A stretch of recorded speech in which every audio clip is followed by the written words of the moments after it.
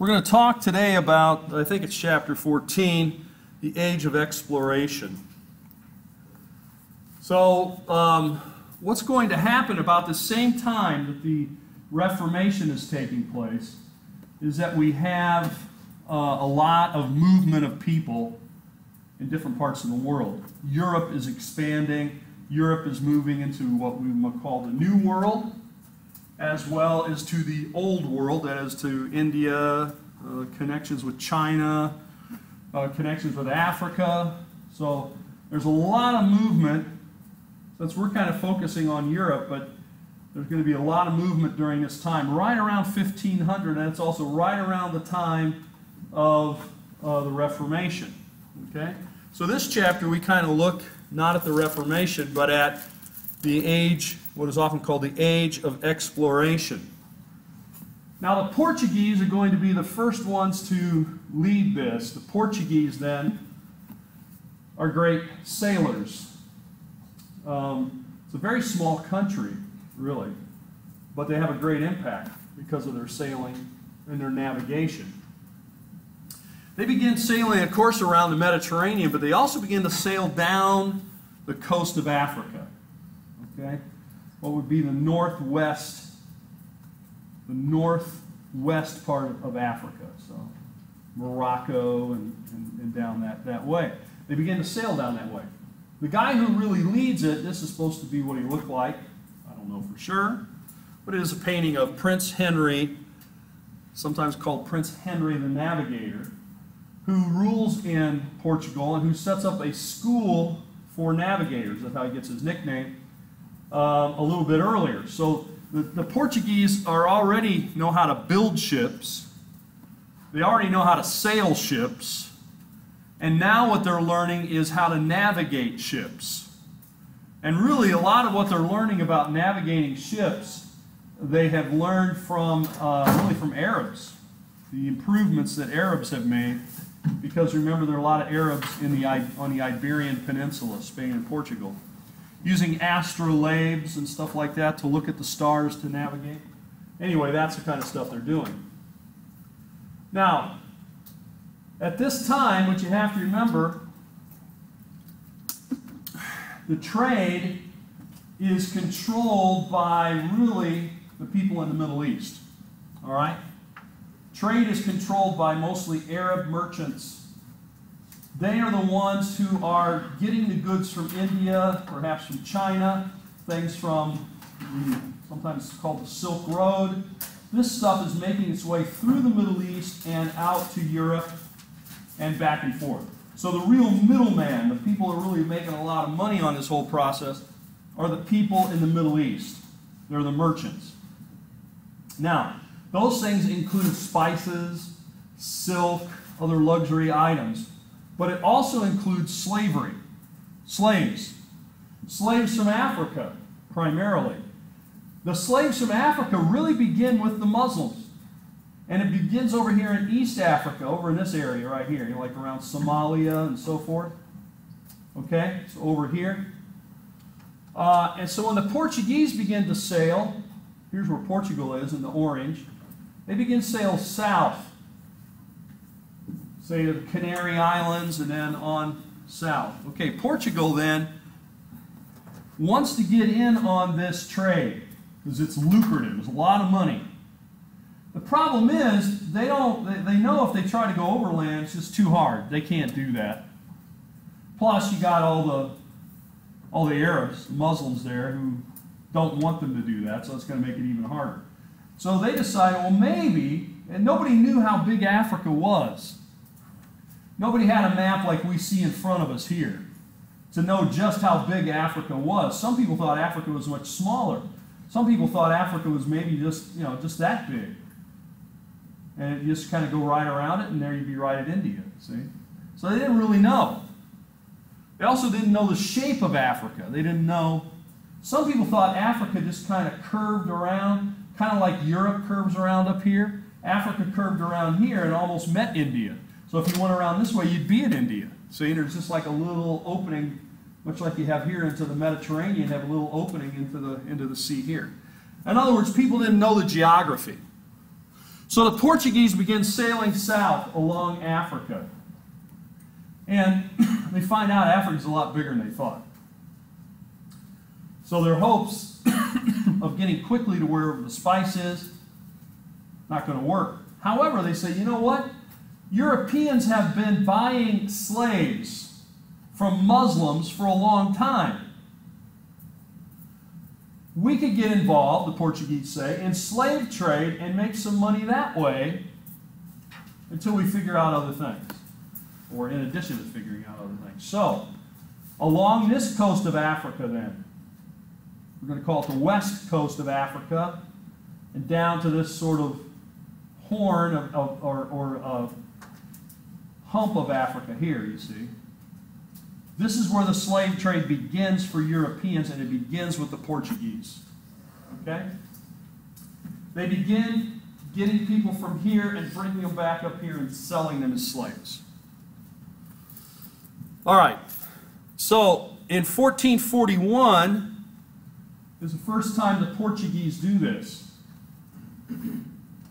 It's not the first time it's done because remember, the Muslims have been doing it for a long time. And the reason I emphasize that is I've had people ask me or say to me that, you know, sort of imply that Muslims never dealt in slave trade. That's simply not true. Muslims were heavily in the slave trade for a long time. And in fact, that's where the Europeans learned sort of how to do it. Anyway, I'll just leave it at that. Now, what they're doing is they're bypassing the Muslim African slave trade, which is mainly coming from over here in East Africa, because the Muslims have been going down this area, down the Red Sea, and down to this horn of Africa here, and uh, obtaining people there, and then bringing them back, bringing them back into the Middle East, using them as slaves here, using them and selling the slaves in Europe, and so forth. So this is the way the Portuguese begin to make money on this deal. Now, the other thing they find as they head down this way, on this, this kind of hump, we're going to call that the hump of Africa, right down in here. The hump of Africa actually has gold. When they encounter the people there, they notice the people have pieces of gold, you know, like necklaces and, I don't know, other jewelry kind of things, right? Uh, that gets them very interested. Where this gold is coming from uh, is down the Niger River, most of it, and other tributaries. There's a big river right about here. And the people are finding it kind of like you pan for gold, right? They find it in the sand, they find it along the banks of the river, and I'm sure they're actively looking for it as well, right? So, uh, much like panning, this is there's two ways to get gold. You can kind of go in and mine it out, the ground, or you let it erode out and it comes down a river or stream. And a lot of the gold that people find is actually from panning it or from, from rivers and streams. Anyway, that's where they get it. So this sometimes then gets called the Gold Coast of Africa. So that's another thing they're very interested in. What they are not interested in at all is moving anywhere inland or establishing any colonies. The Portuguese really don't want to establish colonies almost anywhere. They do want harbors, safe harbors, but they're not interested in coming in here, you know, setting up plantations or growing things. They don't. You know, we're here for trade. They did right? Portuguese? Uh, uh, it's- Mozambique speaking Portuguese. Some, to some extent, the Portuguese have some some colonies later, but that's not really. They're not They're really. for that. They're not really big into colonization. Not like, say, the British or Or or the French. Yeah. Okay. So the Portuguese are mainly in this for trade, making money by commerce. So the three things then that they begin uh, obtaining from Africa that they trade: slaves, gold, and ivory. We didn't mention ivory before, but ivory uh, they, they find here. You know, one time I mentioned in class that they had ivory and that they would take it here and they would sell it. And then somebody said, Well, what is ivory? And I said, It's, well, it's the, from the tusks of elephants. And then I had somebody in one of my classes, not at this school, who said, So that's where the soap comes from? From elephant tusks? You know, there's ivory soap. She thought that ivory soap was from elephant tusk. Anyway, I get all kinds of questions. This is why sometimes you wonder why do I phrase things in certain ways? It's because I've heard things over the years. So I want you to be clear this is ivory that comes from the tusk of elephants, and it's not soap. Okay? You know, anytime you read a rule or some description, you think that's really weird. Why is that there? It's because someone has, you know, done that. Someone has. Anyway, you got a question? Yeah. Is You want to know if it's soap? No. Is that why uh, the country is somewhere in the, I think it's northwest, whatever? Which called, one? Uh, Ivory Coast. Oh, the Ivory Coast. Yeah, sure. Yeah, that's right in this Yeah, area. Right. So the ivory and the gold, okay. They, they don't really colonize. They do build some stone forts along the coast, you know, right near the coast. And, they, and anytime there's an island nearby, they, they go out on that island and build a fort for a harbor. Okay? Now, just so we're clear, I don't know how you think they did their slave trade.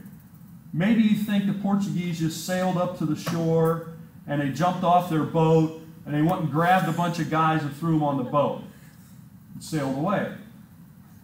That's not really accurate.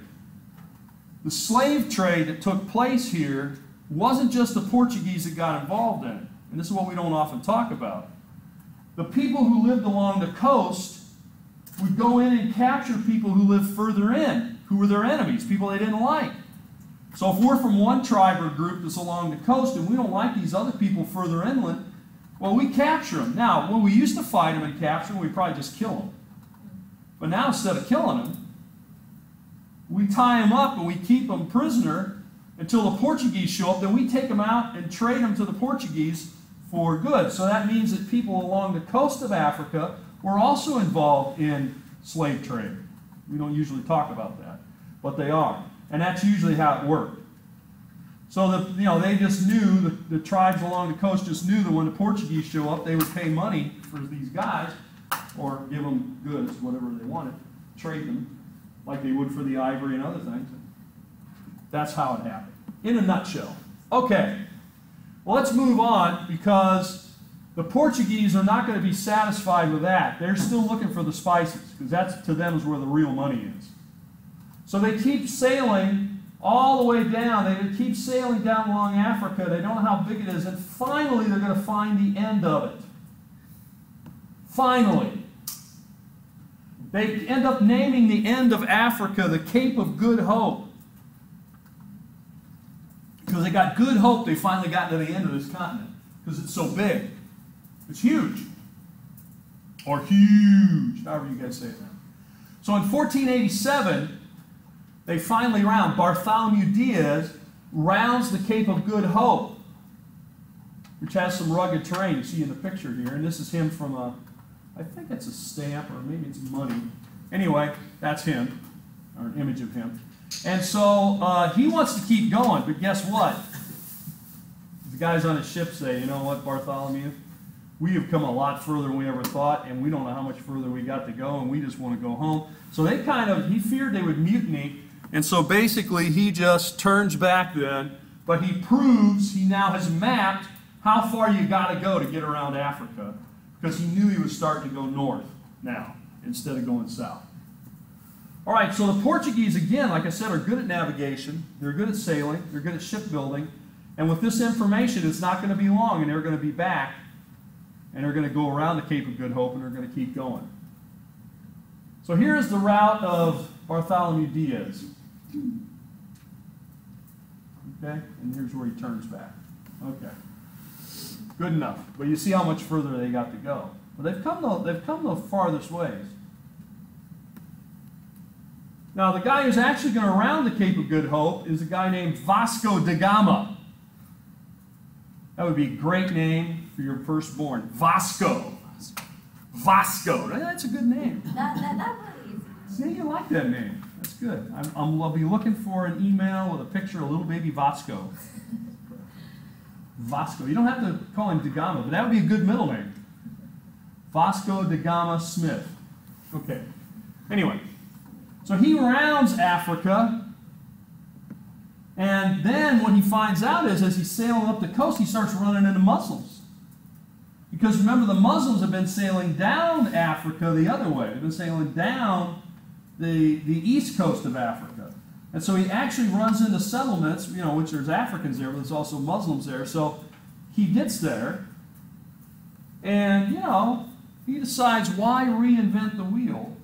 I need to get to India. I'm not really, I don't really care about Africa at this point. I'd like to get to India. So he goes into one of these towns and he says, Anybody here been to India? Uh, Probably not quite this way, but yeah. Anybody here know how to get there? Anybody here a navigator? Some guy says, Yeah, well, I'll pay you some good money, goods, if you show me how to get there. So the guy says, Hey, it sounds good to me. So he gets on the Portuguese ship. He's a Muslim navigator, and he shows them how to get to India. Okay? Once the Portuguese knows, they won't be hiring any more Muslim navigators, okay? They now know how to do it. From then on, they're going to go there themselves directly. So they sail to India, and they come to what would be the west coast of India. And we'll move on. Everybody got that? It's not much to write there. And then here's the map that shows his route. They come down, come around. See, they already knew how to do that. They pick up this guy. They would stop at Mombasa, one of my favorite towns names. I like that name, Mombasa.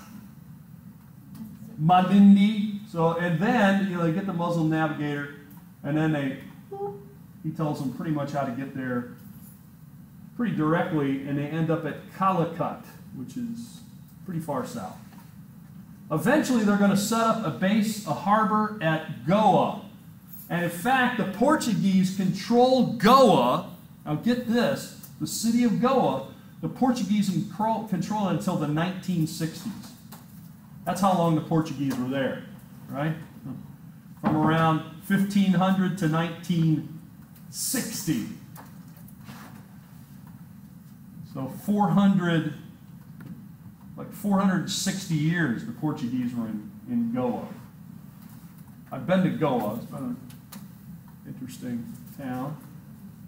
Well, anyway, and that's where they set up their base of operation. Because they, have always heard all the spices come from India. Well, once they get there, they find out most of the spices do not come from India.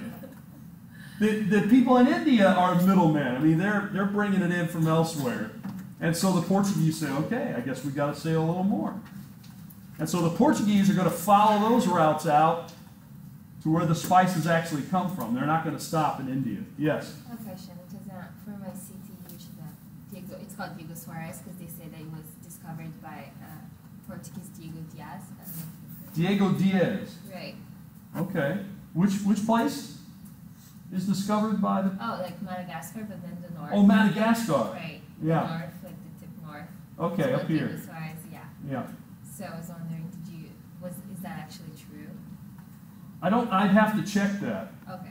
It sounds to me like it would be true, depending on how you define discovered. Said that it was 1500 too, though.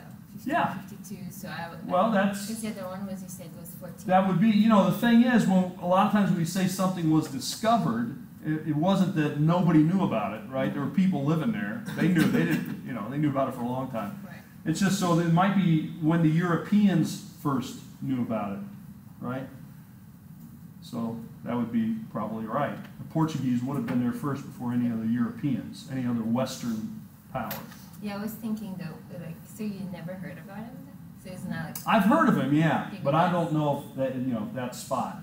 I'd have to look.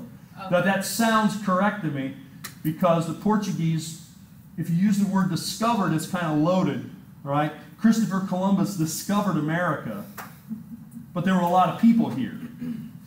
He discovered it for the Europeans. The Europeans had no idea there were even continents out there. We're going to talk about that in a minute if we get there. Otherwise, I'll talk about it in my office. You can listen to it later. But, well, if you do listen to any of it, I don't know if anybody listens to any of these things. I guess I can go on there and look and see how many times it's been played, but that's just too depressing. I don't want to do that. you know, I have to spend all this time doing it, and like three people, I know two of those are me just looking at it. Okay. Anyway, so yes, that sounds correct to me, depending on how you use the word discovered. Okay. That is, that is un- undoubtedly the Portuguese are the first ones, first Europeans to come to. Madagascar. Yeah, that, that I would think is definite. It's like you might say the Portuguese discovered Goa, but I mean, Goa was already there.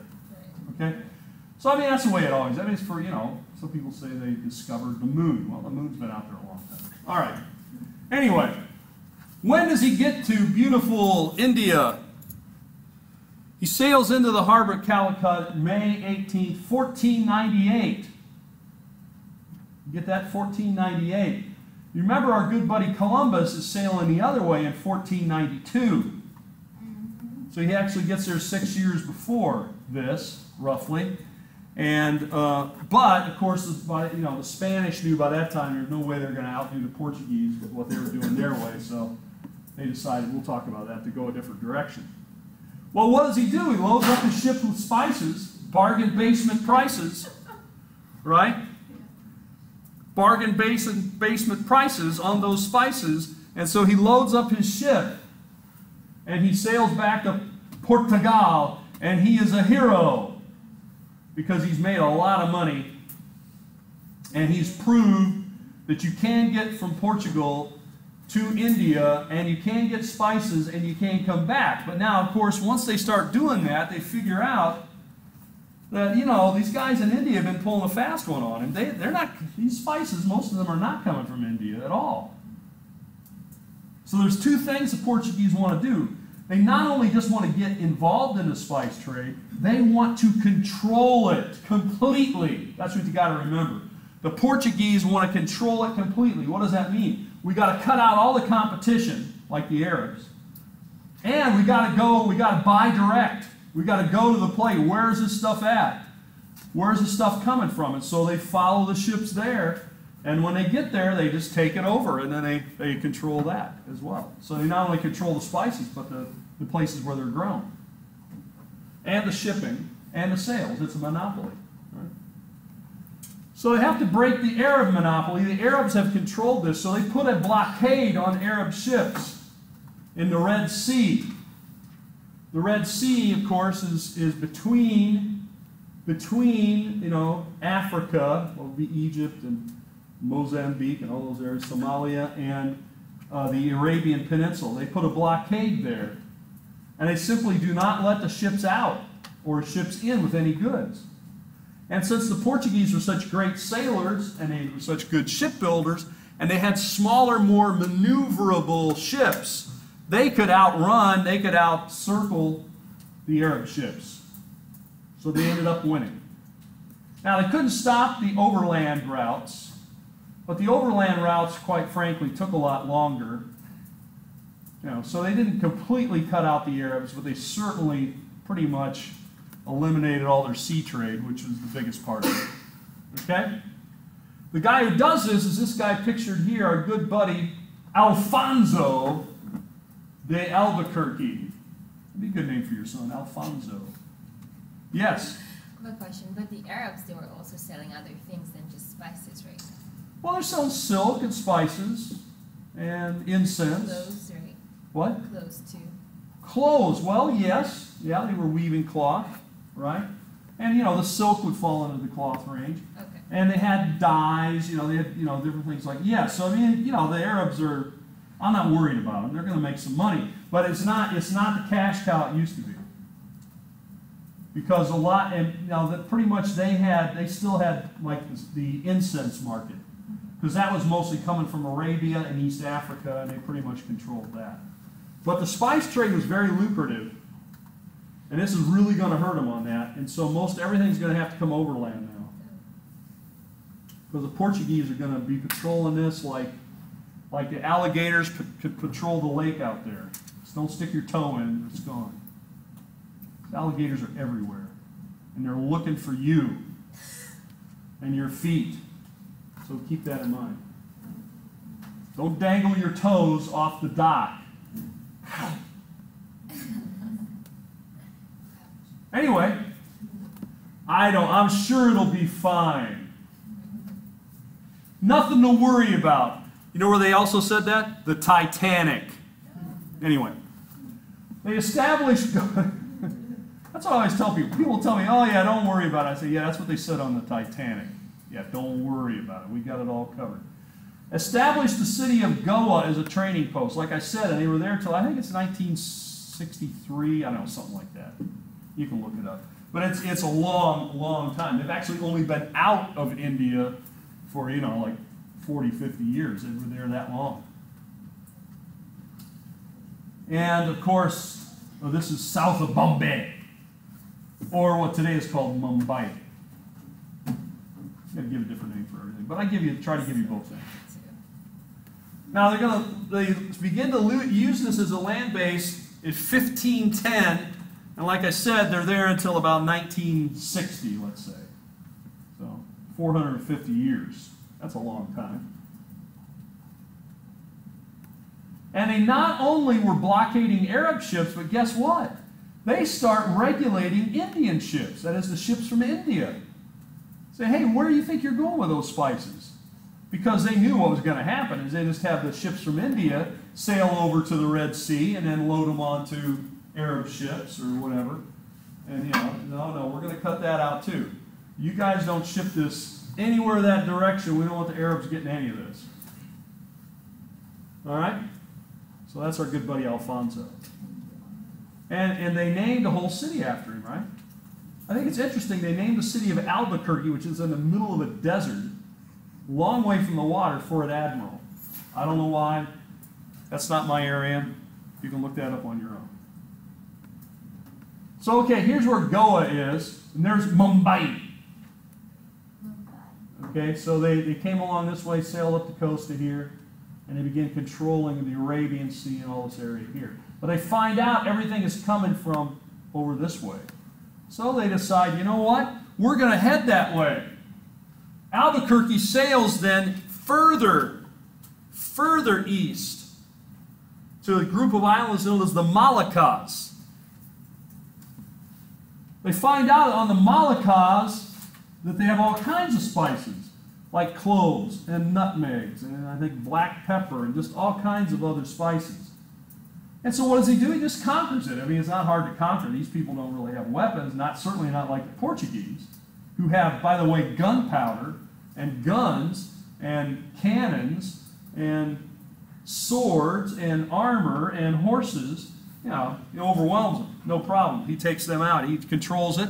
And he just tells them, hey, you guys just keep doing what you're doing, except now it's our stuff. All right? And then from there, guess what? He's not satisfied there either. He knows that there's silk and other stuff in China. And he says, Well, I can't be that far. And so he starts to inquire. And then he begins sailing north. So the Portuguese then are the first Europeans to reach China since Marco Polo. And they set up a base of operation there as well. So they conquer the Moluccas and the Moluccas the Moluccas are known as the Spice Islands. Some people just call them the Spice Islands because they have all the spices on it. And you know, of course, they're home to one of my favorite bands, the Spice Girls. All the Spice Girls were born on the Spice Islands. See, let's see, there's, there's ginger and nutmeg and uh, uh, paprika and uh, cinnamon and uh, scary. One of them is scary. I don't know. I think all the, all the Spice Girls should actually have Spice names. The fact that only one of them, I think, had a Spice name is a misnomer. They should all have that. But you know, my favorite, my favorite out of all the Spice Girls is really their mother, Old Spice. Okay. No? Come on! Old, Old Spice. That's, that's their mother. Okay. Hey, the people still remember the Spice Girls. Someday they won't, uh, but I'll still be telling that joke. 30 years from now, if you come back here, I'll still be using that joke. I've been using that joke for a long time. I don't intend on stop using it. I got no writers. These guys on TV, you know, they got like 15 people writing for them just for you know, like five minutes. I got nothing. I got to go hours every week. Anyway, cloves, nutmeg, all originally came from here. Black pepper, you know, is the number one spice used around the world, black pepper. Comes from this area as well. And most of these are, you know, things that come off flowers, like the parts of flowers, or, or some of them are not really nuts, but it's the fruit. Anyway, we're not going to get into all the technical thing. Some of it, like cinnamon, is bark. It's just the bark of a plant. Yeah. So it's actually specific to these islands, like the stuff. Yeah, I mean that's the only place where they're from. Now, of course, today they've been cultivated elsewhere, but that's where they began. Yeah, that's where the spices were from. They didn't grow anywhere else. Just like you, you can only grow tea in very limited places. And most all of that's in China. So if you want tea, you get it from China. Now, you know, they, they were able to cultivate it on, you know, on Sri Lanka and a few other places. And in the eastern part of Turkey, they do it a little bit. They've tried to do it here in the United States. It's just not, the climate's not right. You got to have sort of a, a, a, a cooler climate. You got to have some hills. Anyway, that's for tea. But if you take a look at specific foods and spices and things, this is where it came from. Just like chickens. Chickens came from Asia. But now they're all over the world. How did they get there? The chickens don't even fly well. People took them there. That's why. Right? Because chickens are very handy. Very portable. I've been on buses where, you know, people just come in carrying a chicken They're taking it home for dinner. You can just, you know, like tie it and hang them around your neck and put them in a canoe. I mean, there's all kinds, you know, chickens is not like a cow. You're not moving a cow easily, but a chicken you can move. And they reproduce fairly quickly, so it doesn't take too long to get a full grown chicken. And they don't eat much, just bugs. It's a perfect food. Don't get me started. How'd you get me started on chickens? Let's go on. Other spices here, you know, like pepper, black pepper especially. All these things are coming from these islands, almost all of it. Okay? And that's where it originates. Now, sometimes it has successfully been cultivated elsewhere now. And of course, now you go down, you go over there, what we got, like, what do they like to do around here? Publix. You go over to the Publix not too far from here, you go down to Spice Island, you can buy like every kind of spice they got probably for 50 bucks. You know, you get some of each no problem. Get cinnamon, pepper, and you know whatever, nutmeg, all that stuff. It's cheap. You get a little container for two bucks. Not so here. During this time, very expensive. And if you lived without spices for, let's say, most of your life, and then suddenly you had food that had spices, you're going to want that. You know what I'm saying? Just imagine, we have so much spices in all our food now, we don't even think about it you know, cinnamon and pepper and, and nutmeg and rosemary and all kinds of stuff. So this really, you know, especially for Europeans, have very bland food. All right, where are the Moluccas? Well, they're over here by Indonesia, right? Here's Malaysia, here's Papua New Guinea, and it's these islands right out here. All right, so you can look it up later, but that's where, there's the Molucca Seas. See, and so these islands over here. North of Australia, here's Timor. You heard about them. They had the big tsunami, big earthquake. It's in that South Pacific area. That's where the spices come from. Well, the Portuguese were very successful. They, they pulled this off very quickly. How did they pull it off? This is usually where I stop and try to encourage students to not give up. It's about the end of the semester. Well, the Portuguese, first of all, had guns, gunpowder, weapons that most of these people they encountered did not have. That gave them an advantage. They were great sailors. They knew how to sail, they knew how to build ships, they knew how to navigate. So they were very mobile on the sea, and they had the advantage of gunpowder and technology. And then the third thing, they had a single goal. So this is usually where I, I mention to students that it's, it's not, over the years I've noticed, it's not always the smartest person who does best in my classes. Sometimes I'll meet somebody and say, yeah, that guy seems really bright, but he's not doing well in my class. Why? I suggest it's number three. You've got to have a single goal. You've got to have a goal. You got to have focus. If you don't have focus, no matter how smart you are or how much chances you have, you're not going to do well. I've met people that weren't, you know, I won't say they weren't that bright, but you know, they had to work very hard. They worked very hard and they did well. Not only in my class, but in life. So, get some goals and as my grandfather used to say, you got to apply elbow grease. You know what elbow grease is? Working hard. That's what he meant by it. That's not going to happen unless you put the elbow grease on it. You put the elbow grease on it by working hard at it. See? elbow grease. Determination. Focus.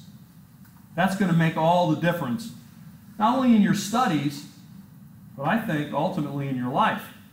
If you're distracted by, you know, the latest text message and uh, sitting around watching the Netflix all the time and uh, so forth, it's pretty easy just to lay back and let the world pass you by. All right. I'm not saying I got nothing against Netflix. I'm just saying, focus, focus, focus. So let's move on to our good buddy Chris, Chris Columbus. Now, the Spanish wanted to get to these Spice Islands. You know, they wanted to get to China, Asia, India. That's where they wanted to go. Why? Because that's where the spices were. They knew the Portuguese had the other way sewn up. So they decide a kind of interesting idea. We're going to get east by going west. Huh? Pretty creative, huh? Yes. So if the spices came from the Malacca, yeah, most Malacca? of them, uh-huh, sure. So the Arabs went there and actually bought the spice from Malacca? a lot of people from India went there and brought it to India, and then the Arabs came to India and took it to the Arabs, and then the Arabs took it from there and sold it to the Europeans. So there was a whole chain of. Uh, so I don't think the Arabs ever made it that far. I'm pretty confident they did not. It was people from India and other people sailed, and you know the people from India bought it. Then they would kind of you know package it and market it and sell it out to others. So most of that stuff they did not produce at all. Just like the Arabs didn't produce it, just like the Portuguese don't produce it.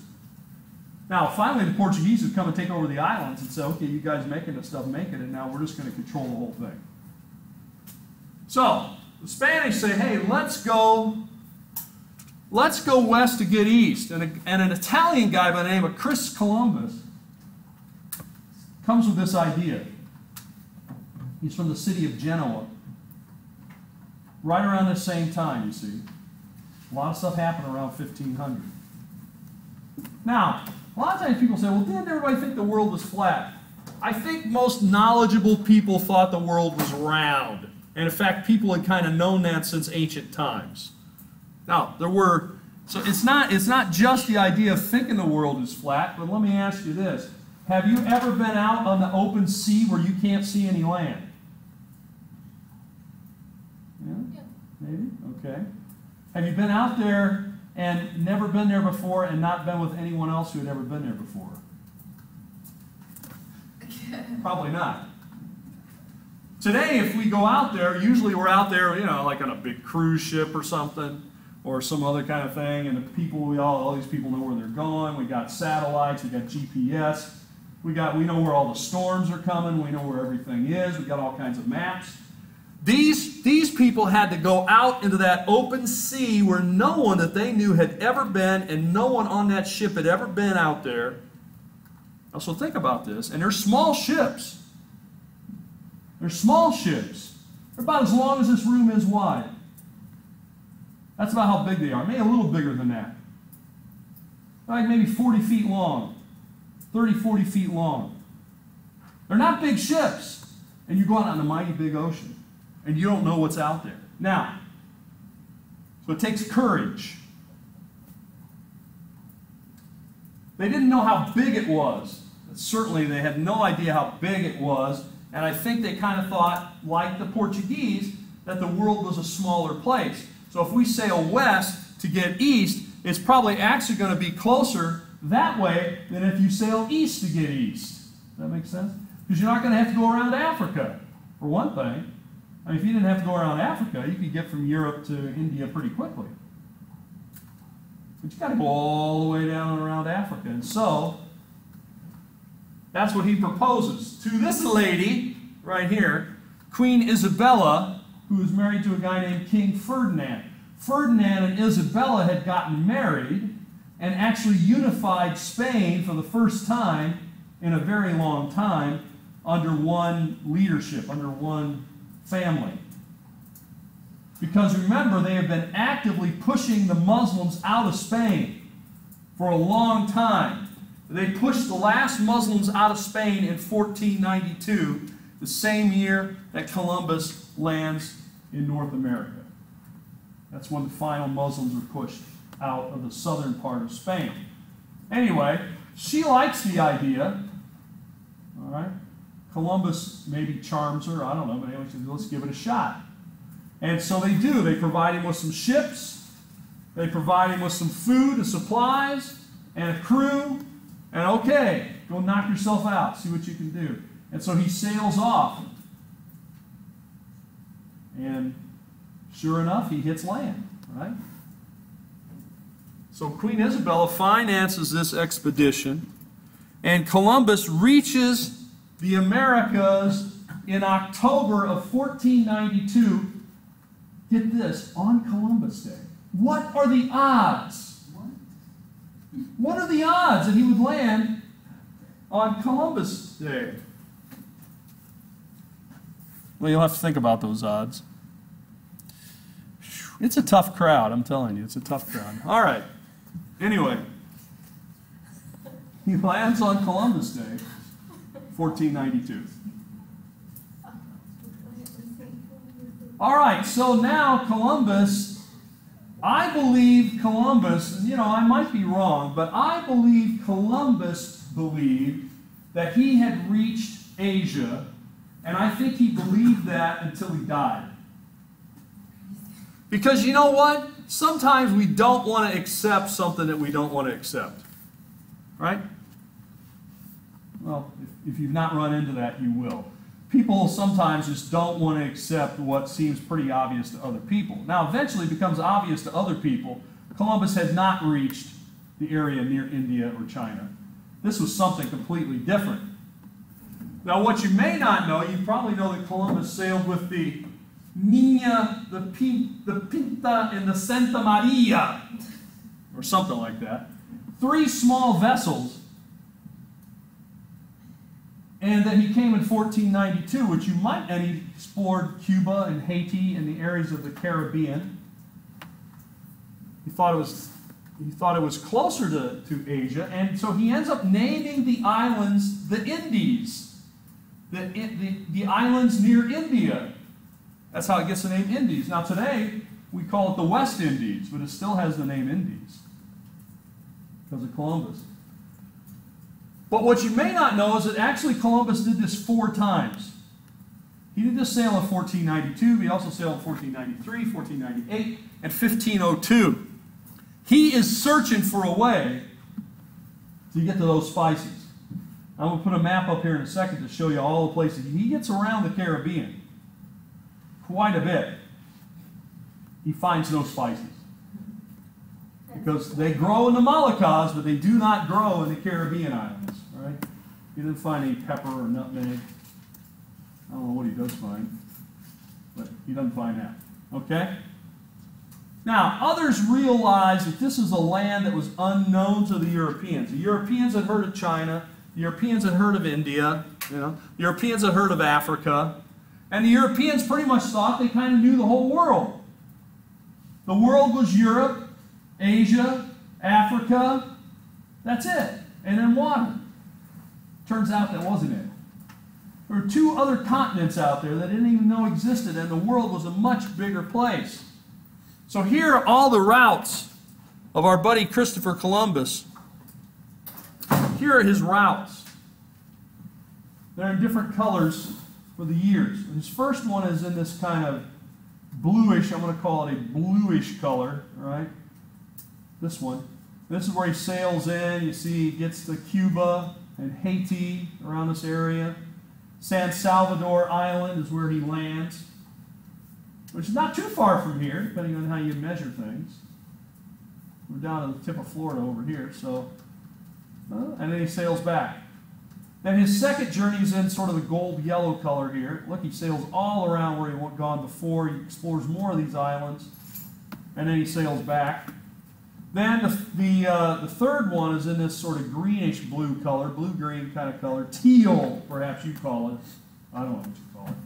And he sails down this way. Look, he goes all the way down to South America, down around Ghana or Guyana, and uh, sails in this way and then sails out.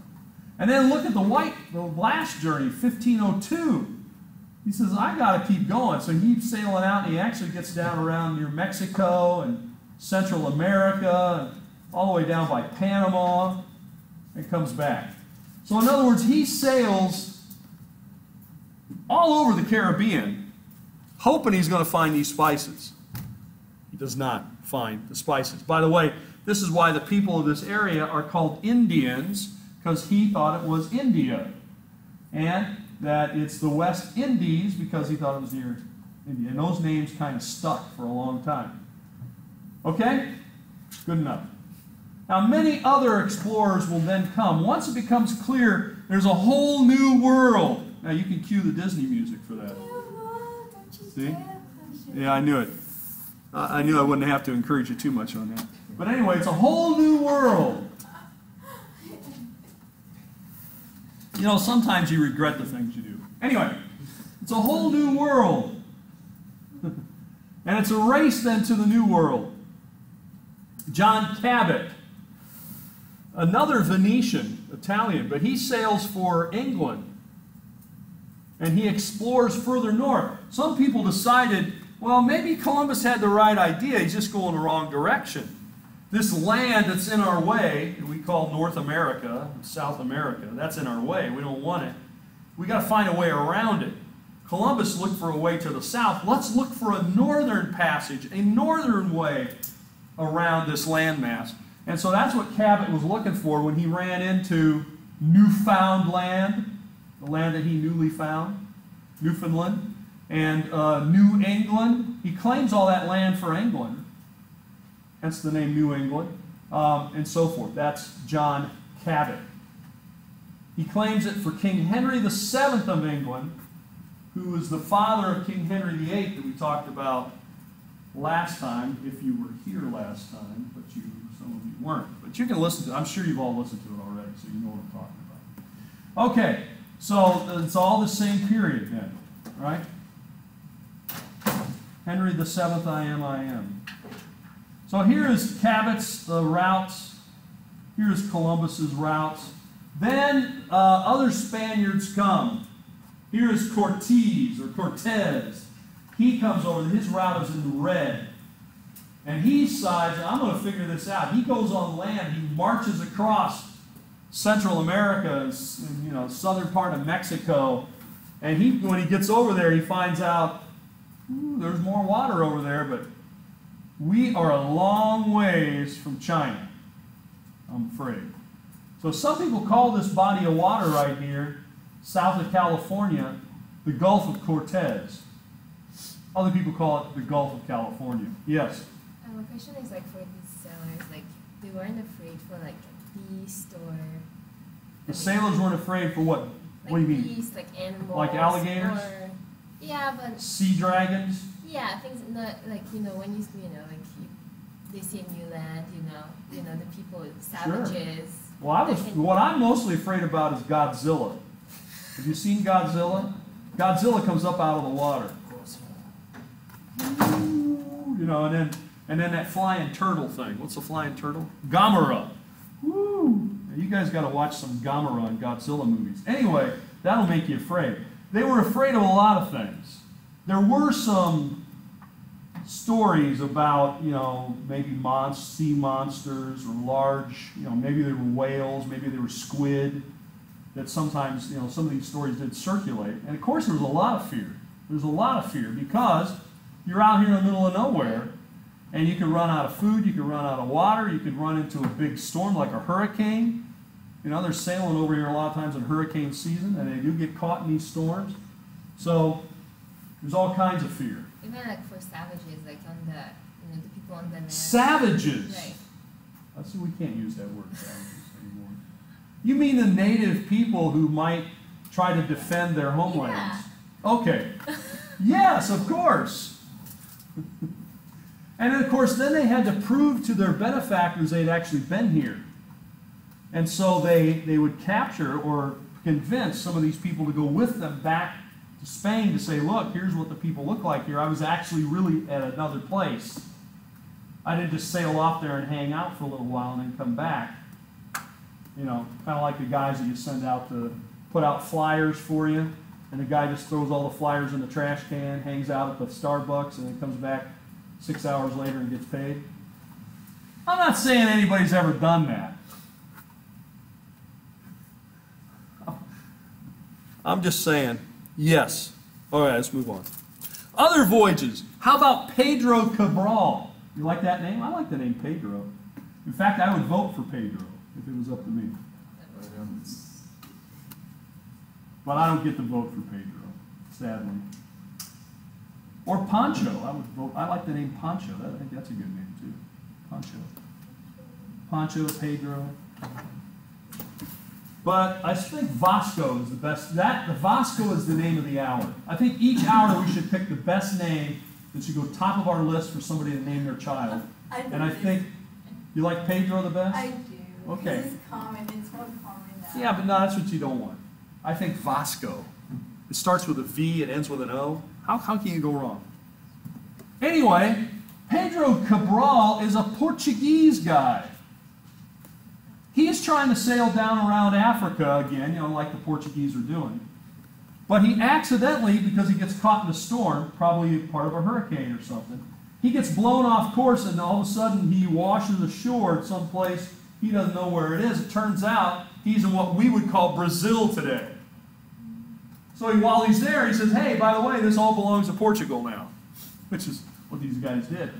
So he accidentally, around 1500, lands in South America, and, uh, and so he calls, you know, he takes the land. Now, this is why people in Portugal speak Portuguese, but people in Brazil speak Portuguese instead of Spanish because of Portuguese, because this guy got blown off course. They were not, well, they eventually, yes. I mean, they did send missions there and they started to work there. If you want to watch people like movies, you want to watch an old movie, you could watch the movie called The Mission. You ever heard of the movie called The Mission? It has, I think, Robert De Niro, a couple of unknown actors. One of them is Robert De Niro, and I think the other one's Daniel Day Lewis. And they're in the movie called The Mission. You can look it up. It was like 1998 or something like that. Anyway, it's about this thing where there, there are Spanish missionaries and there are Portuguese, you know, it has a Spanish mission and the Portuguese are there. And there's going to be a lot of conflict and fighting between them over who's going to control this. Anyway, you can watch the movie. I won't give you a spoiler alert. But it does involve a flute. I will tell you that much. That's all I can tell you. It involves a flute. Is it a magic flute? No. Well, maybe. Depends on how you define magic. I don't want to spoil it for you.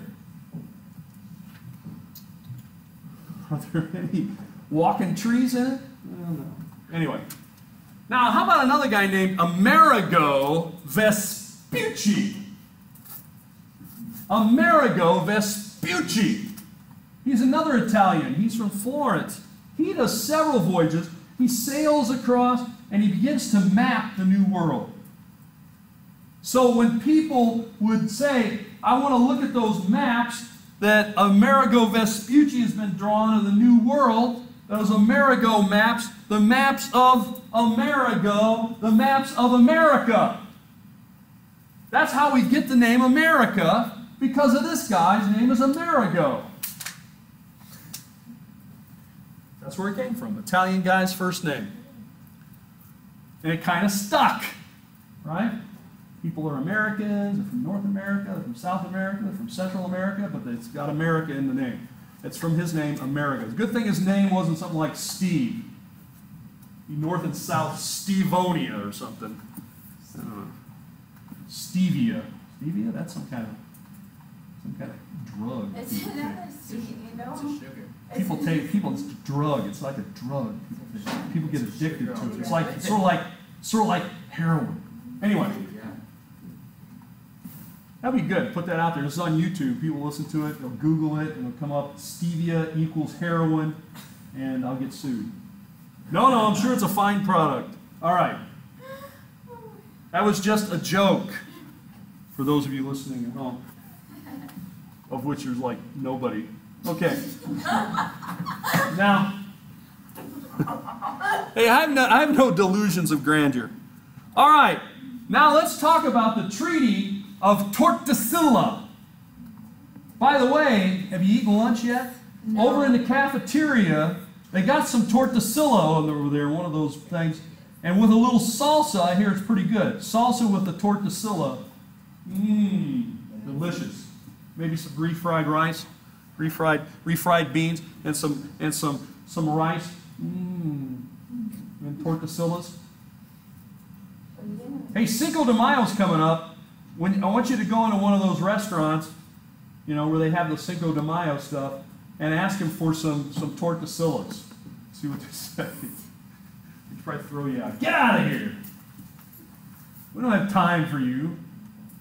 Talking about Tortosilla. Well, no, the Treaty of Tortosilla has got nothing to do with Mexican food. Well, indirectly maybe, but no, it doesn't. What is the Treaty of Tortosilla, you ask? I'm glad you asked. The Treaty of Tortosilla is a treaty that divides up the world between the Portuguese and the Spanish. Did they ask anybody else what they thought? No, we don't care. Basically. Who brokers this deal? It's the Pope. Because remember, the Portuguese are Roman Catholic, the Spanish are Roman Catholic. We don't want the Portuguese and the Spanish fighting each other. We'd rather have them fighting or converting non Catholics and making them Catholics. So, since the Portuguese already controlled this area going around Africa and heading that way, and now the Spanish have been sailing over this way, they said, hey, let's just draw a line. They're going to call that the line of demarcation. The line of demarcation is drawn here in this red line vertically. Why? So it could include part of Brazil. Why? Because our buddy Cabral had accidentally landed there and the Portuguese had claimed it. So to avoid warfare between the Portuguese and the Spanish on the sea and on land, they drew this line of demarcation. They said everything on the left side of that line, everything to the west of that line was Spanish territory. Everything to the east of that line was Portuguese. Then eventually they had to kind of add another line onto it out around the Philippines. The Philippines are sort of the outer limit of what the Spanish control, and then the Portuguese get the rest of the um, Indian Ocean and so forth. All right? By the way, they did not ask anybody else. They didn't like, you know, go down to Portugal or go, go down to Brazil and say, hey, you guys want to be controlled by the Portuguese? No, they didn't ask them. They just took it over. Okay. But this is all drawn up by the Pope in 1494, the Treaty of Tortosilla, and it divides up the world at that time into two spheres, two hemispheres, or whatever you want to call it, two, two zones of occupation or control. Uh, Spanish side is on the left on this map, and the Portuguese side on the right. Does that make sense? Because the Pope does not want fighting between these two. He sees that as counterproductive. But what he does want them to do, of course, is not only go out there and make money and get rich, but to allow Roman Catholic missionaries to show up and set up missions and convert the local people into you know, good Roman Catholics. And by and large, um, that does happen, especially in South America, Central America. Most of the folks down there still today are Roman Catholics. This is why. Okay, everybody have that? Some people were writing furiously, but now they aren't, so I'm going to move on. Spanish conquistadors. Well, one of the things that the Spanish do is instead of just sort of passively, well, the Portuguese were pretty much, uh, they were pretty much satisfied with just setting up trade. But in Central and South America and North America, there's not the kind of goods there that the Spanish can really capitalize on. There are no spices, for example. There is some gold, and there is some silver, but they don't know quite where it's coming from, right? So, but they do want the gold and the silver. Don't, don't get me wrong. And they, they will get the gold and the silver. But there's not, uh, there's not the spices and a lot of the other things. Mostly it's land. So the Spanish decide they will use this to settle, and they also begin to, you know, growing things, setting up plantations and that kind of thing. One of the big products that's going to start to be grown here is sugar cane. The Europeans developed a real sweet tooth. There was no sugar in Europe. How did anybody get anything sweet in Europe? The only way you could get anything sweet in Europe was to use honey. Honey was the sweetest substance that the Europeans had. But pretty soon they were introduced to sugar and sugar cane, and they liked it a lot. Okay? Just like you do, probably. You like the sugar? I think you probably do like the sugar. Do you like the soft drinks? They're filled with sugar. Do you like the desserts? Do you like the pie, the cookies, the brownies? The brownies that you're going to have at my house tomorrow night? Will you like them? I think you will. See, it all comes back to the party on Friday night. Well, anyway, uh, so they begin to grow things. Now, to do that, they need to conquer the land. And they actually met some fairly formidable people here. And they conquer this, what they're going to call the New World, or what is, has been called the New World. Obviously, it's not new to the people living there. It's new to the Europeans, and they didn't know it was here. Now, the thing is, the Spanish conquistador had lots of advantages, just like the Portuguese had lots of advantages when they took over those islands in the South Pacific. What are these things? They had horses. They had, they had gunpowder and guns. They had steel. They had, they had all these things. They had armor. The other thing that came with the Spanish that the people in North and South America had never experienced were a lot of diseases. Because you have an isolated population. You remember we talked about the Black Plague, or the bubonic plague. When that swept through Europe, it, it devastated Europe, right? The new diseases that the Europeans bring with them, different kinds of influenza, the measles, uh, stuff like that. This, this kind, this really begins to, to wipe people out in America, in the Americas. Okay? And so that's going to make it easier for the Spanish. And so they end up conquering. They conquer Hernan Cortez, 1519 to 1521. He will conquer uh, the Aztec Empire, which was really at its peak about this time. Both the Incas and the Aztecs were pretty much at their peak of power when the Spanish show up. Real bad timing for them, right? Well, all the way around, bad for them. But you know, they're they're they're sort of. And by the way, you know, they weren't just real nice guys themselves. They weren't just getting along and being friendly with each other. They were conquering people themselves, and they had created an empire. But when the Spanish show up, not only do they bring these diseases with them, but they have steel weapons, they have gunpowder, they have horses. The people saw people on horses, and, and they didn't know what to make of it. Is this a, some kind of creature? You know, like sort of with a human head and another kind of body? I mean, that's what. And of course, you know, even when they figured out that wasn't it, you know, horse is a powerful animal that can move quickly and they didn't have anything like that. There were no horses in North America at that point. That's where they all came from, mostly the Spanish. Anyway, then of course he takes the Aztecs. The Spanish will take the Aztecs and control their territory in Mexico and Central America. And eventually they'll move up and they'll take control of Mexico as well. What about in South America, you ask? I'm glad you asked. In South America, the same kind of thing happens with our good buddy Francisco Pizarro. There's a good name for you. That's, that's not that uncommon, Francisco. I still think Vasco is the best name of the hour. Vasco. But Francisco Pizarro will move to the south with the Inca Empire, which again was a well organized uh, along the west side of South America. They had a mountain area and they had a coastal area. They had long roads. There's a lot more we could say about them. Your book tells you a little more about them. But they end up taking that territory as well.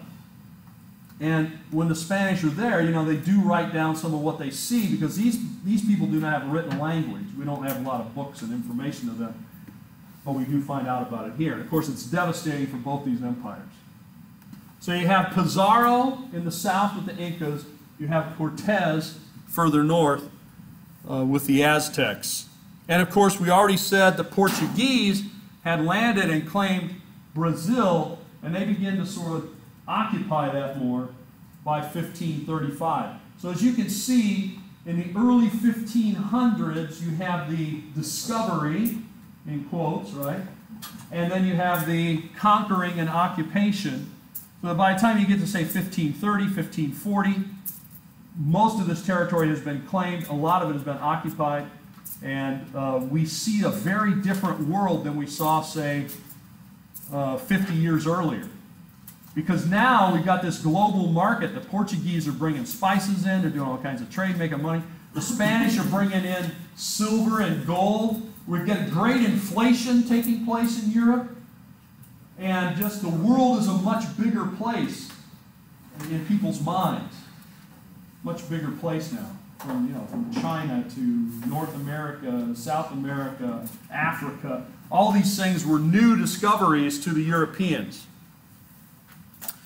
All right, we'll end it there. Do not forget, of course,